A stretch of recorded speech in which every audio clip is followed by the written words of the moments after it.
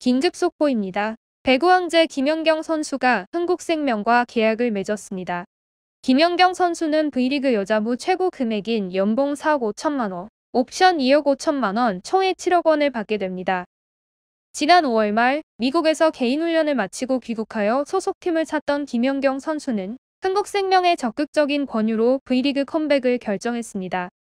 김연경 선수는 새로 이전한 홈구장인 삼산체육관에서 핑크색 유니폼을 입고 팬들을 만나게 되어 너무 기쁘다면서 코로나로 인해 팬들과의 만남이 어려워 아쉬웠는데 좋은 모습을 직접 보여드릴 기회가 생겨 기대된다고 말했습니다.